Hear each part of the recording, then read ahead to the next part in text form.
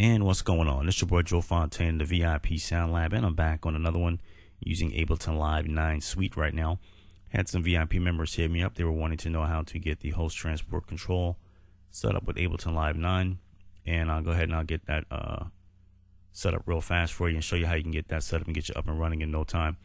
Um, because basically with Ableton Live 9 Suite, um, it's coming with like 3,000 sounds uh, it's basically giving you a full range of vintage synths, uh, drum kits, and one-shot samples, uh, acoustic instruments, and I think like 4,000 loops. Uh, it also includes Max for Live, which is free, which before we had to um, pay for. So now it comes with it, which gives you full access to all of um, 900 some odd devices uh, built by Max for uh, the live community.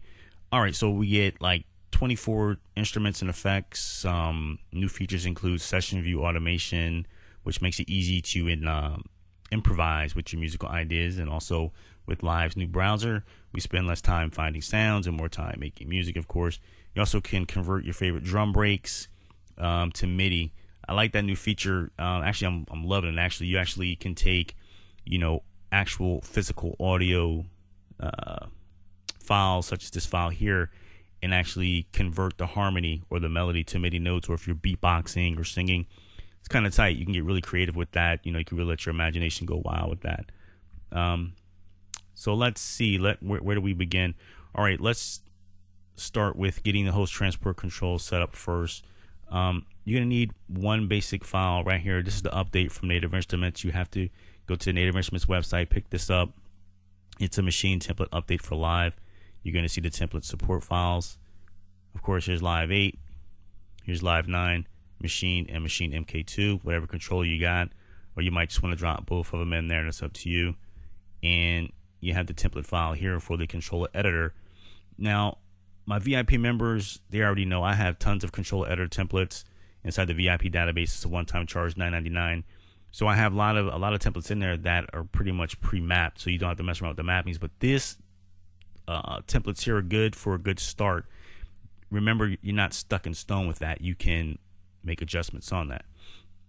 So, what, so basically, what you want to do is you want to take that file and you want to get it set up in your hard drive because right here where it says options and preferences, you see right there where it says control surface Maschine, you want to select that because basically here is where you're going to select, you know, whatever you're using to control live, whether it be a MIDI controller, Maschine, you know, whatever the case may be. The list defaults to these here, but you want to make sure that you have Maschine or Maschine MK2 um, set right here. So to get that, or rather to get that to show up, let me just go in the hard drive of my computer because I think once you do it, you might have to um, restart live. I'm not, I'm not really sure, but I'm on my little touchpad here on my laptop, so you have to forgive me if it's moving kind of slow here. All right, where you want to drop that file right here, you can see local disk, program files 86, Ableton. I'm on Windows 864 right now. Just for the sake of the video, you know, if you're in a Mac, of course, you would download the Mac file. You go under resources, and you see right here MIDI remote scripts. Now you have a templates um, file here. Again, this is where I drop mine. Not necessarily saying that you have to, but for me it works because it's just easier for me to find if I'm in live. I just I don't know. It, it just it just jazzes like that in my mind. You know, you can store yours wherever, but I I, I drop mine in there where it says templates, and so that's for the controller editor mappings. Now for the MIDI remote scripts, again, here's all all the uh, defaults that come with uh, Live 9. You want to make sure that you drop the Maschine one here and the, or the MK2 one here. You know, depending on whatever controller you're using. So then that way Live could recognize it as a MIDI device to control MIDI inside Live. So for example, let me just pull this down. Okay, here's Maschine. Now on your hardware controller, you want to select Shift MIDI to control Live because the erase button. Let me pull this up here so you understand a lot better. Okay, what happens is okay, here's the MK2 uh, script. And you can see right here, it it's it has the host transport control highlighted in green. That control, to templates, right here has to be selected. Host transport control right there. Because I think it defaults, like when you open it's going to be like that. So you want to go in there, you want to hit host transport control. All right, and then here's your assignments here. If you want to, you know, if you're on the MK2, you know, you're assigned your mappings. You know, whether you're on MK1 or MK2, it works the same. You have to have it on host um, transport control. So let me get this out the way, and I'll show you what I mean. And uh, if you're on micro, there there's a micro template too.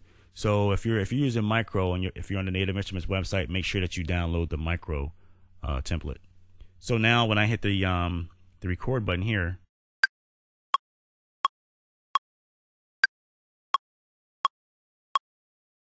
okay, you see you see me in. Uh, the loop button becomes the metronome, as you can see up here. You see the metronome going on or off. Again, this is all from the Maschine hardware controller. Or if I was to hit the, let's say, the play button.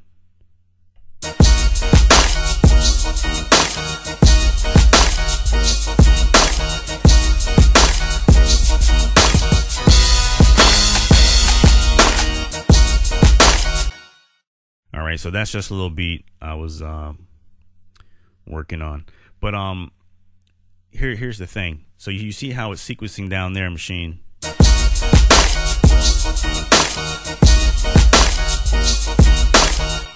So now if I hit shift and MIDI, like so, now it serves a different function. Now when I hit the record button, you see the Maschine, uh, rather the arm button here, it's arming.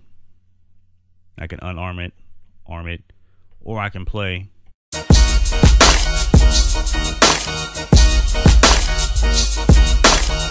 You know, same thing. So that's that's basically how you get that set up. It's pretty fast. It's pretty easy. Just figured I'd mention it.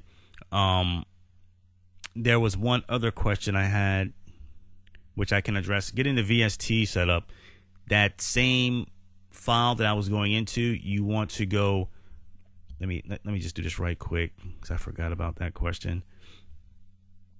They were asking me how to get the VSTs inside Ableton. So again, that resource folder, same thing. See how it says VST right here? I created that. So you want to create a folder that says VST and in this folder is where you put your VSTs. So then what happens is when you're using live, when you go to options, you go to preferences. If you want to go to, dang, let me think, where is it at? I think it's in the file folder. Yeah, right here where it says um, VST plus VST plugin custom folder. You want to hit browse and basically select it there and that's pretty much how you'd get that set up. All right, so one other feature I wanted to show um, live. Again, I'm not going to show all the new features in live, but I just wanted to show one of the new coolest features in live, um, which I think is one of, is one of the dopest ones because you can take you can take whether it's on this screen here, whether it's a, a MIDI clip, you can do it there. You can do it here. You can drag audio from your desktop, get the MIDI that way. It doesn't make a difference. You just you just right click here and you have convert options from harmony, melody, or drums to MIDI. Obviously, drums to MIDI is going to be, you know, a drum loop, beatboxing, things of that nature, or or or rather or rather even a melody. Convert to melody is, is more like a simple MIDI file. You're to get like the dumbed down version. It's to be just the the melody of of whatever it's it's converting. So it's more simple. Harmonies for more complex uh, MIDI takes, in my opinion. Um, nine times out of ten, to me, harmony works better because it gets all the MIDI notes.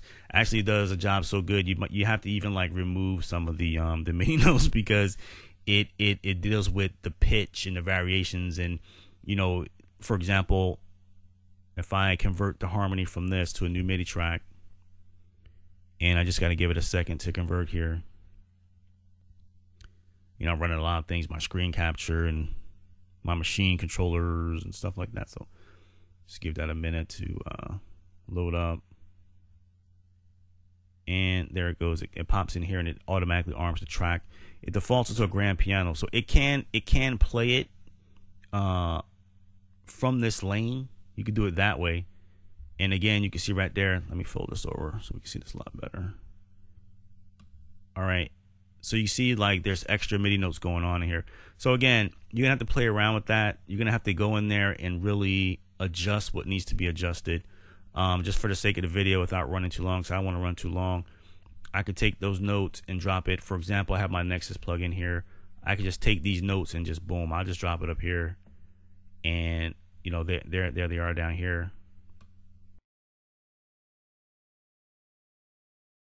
Let me just pull up Nexus right quick.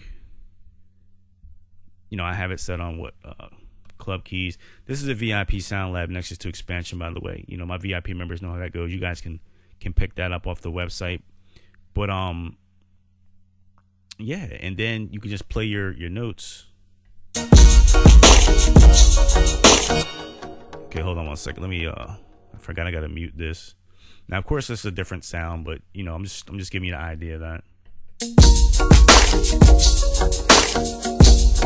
And